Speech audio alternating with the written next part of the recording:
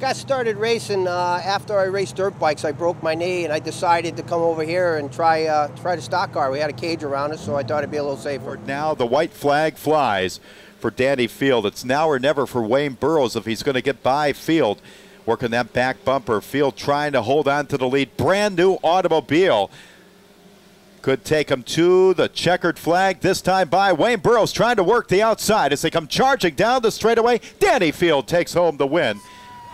How did that new car feel? Oh, it felt real good. Uh, the car was a little loose, but uh, had a lot of power under it. And I want to thank St. Pierre Builders, my crew, Rick, Roger, Mike, uh, my daughter, everybody that helps me on the car, John Burnett for the motor.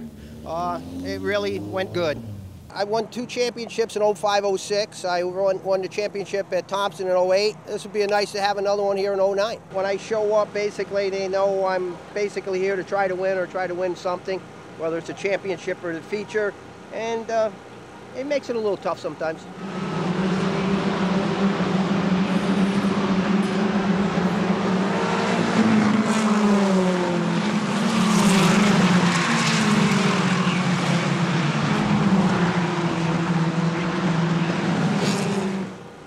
uh, through the years, I guess it was one time it was Rich Brooks and I.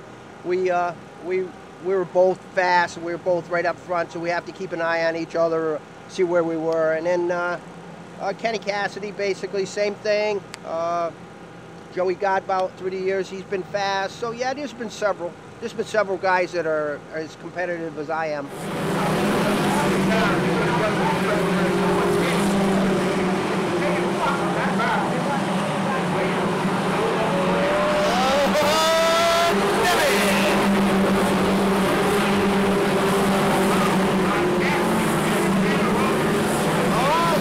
It's not that bad either.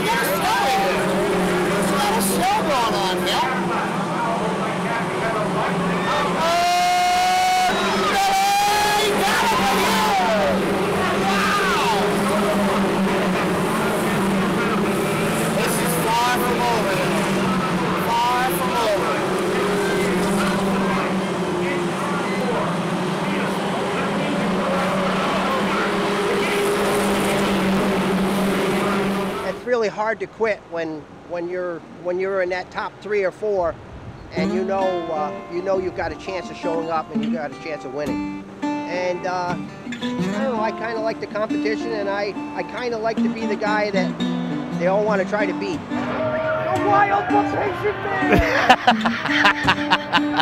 man.